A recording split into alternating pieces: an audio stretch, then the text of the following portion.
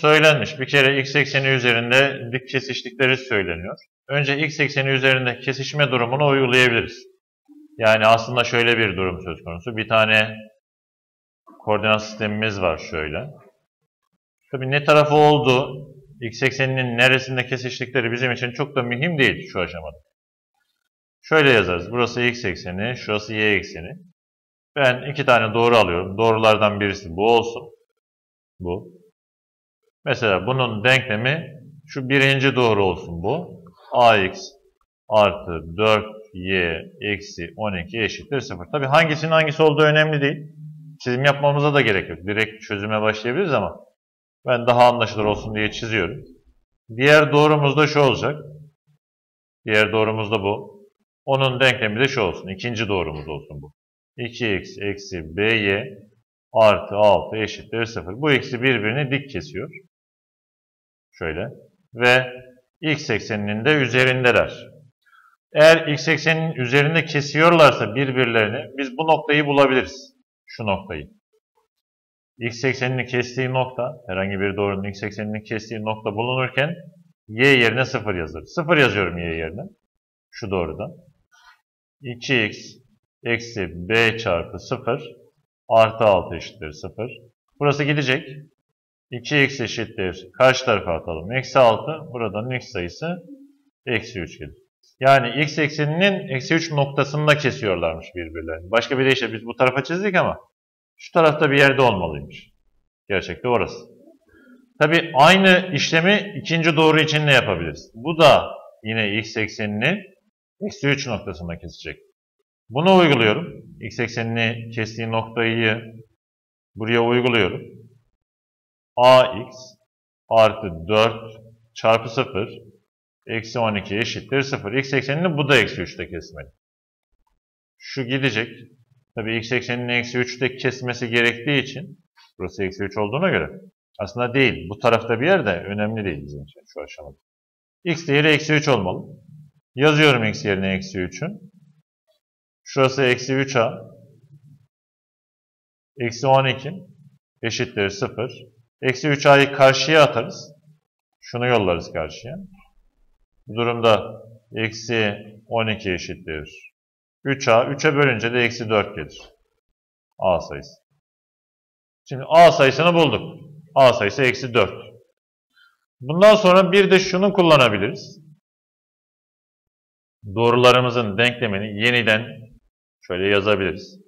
Birinci doğruyu yazıyorum. Birinci doğruyla alakalı herhangi bir şey bulmadık.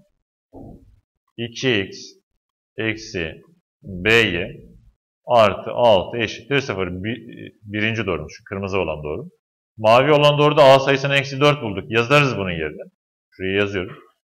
Eksi 4x artı 4y eksi 12 eşittir 0. Şimdi eğer birbirine dikse doğrular eğimleri çarpımı eksi 1 olacak.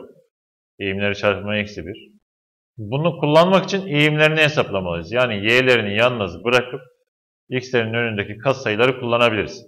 Ama şöyle bir köşede bir işlem yapalım. Bize bir doğru bu sorulardan bağımsız olarak. Mesela şöyle verirse ax artı by artı c eşit 0 biçiminde verirse bunun eğimi a eksini karşıya atarız. Eksi a eksi olur. Sonra b'ye böleriz. Bunun eğimi eksi a bölü b olur. Eksi a bölü b. Başka bir doğru alıyorum. İşte bu c'yi kullanarak da dx artı ey artı f eşit 0 olsun. Bunun eğimi dx'i karşıya atıyorum. Eksi d. Sonra y'nin katsayısı olan e'ye bölüyorum. e. İkisinin çarpımı eksi 1 olacak. Eksi a bölü b çarpı eksi d bölü e eşittir eksi 1. Bu eksiler birbirini götürüyor. Burası AD. Paydası BE karşıya atıyorum. Eksi BE. Bunu da sola alıyorum tekrar. Bu durumda AD artı BE eşittir 0. Yani şunların çarpımı. Şunların çarpımı. X'lerinin çarpımı sonra Y'lerinin çarpımı. Toplamı 0 olur. Eğer doğrular birbirine dikse. Ki vektör konusunda şu A ve B sayılarına A ve B sayıları birinci doğrunun vektörünü oluşturuyor. İkinci doğrunun vektörü U diyelim ona. D virgül E vektörü oluyor. D virgül E vektörü. Eğer iki doğru birbirine dikse bunların vektörlerin çarpımı da sıfır olur. Vektörler de şöyle sırayla çarpılıyor. Şunların çarpımı. Yani hiç eğim bulmadan, eğim işine girişmeden eğer doğrular birbirine dikse şunları siliyorum. Şurayı siliyorum. Eğer doğrular birbirine dikse hiç eğim işine girişmeden direkt şunu yapabiliriz. Eğer doğrular birbirine dikse bu ikisinin çarpımı artı şu ikisinin çarpımı sıfıra eşit olacak. Ve toplamları tabii. Biz buna iç çarpım diyoruz. İç çarpım. 2 ile eksi 4'ü çarpıyorum. 2 çarpı eksi 4. Sonra eksi b ile 4'ü çarpıyorum. Toplam 0 olacak. Burası eksi 8.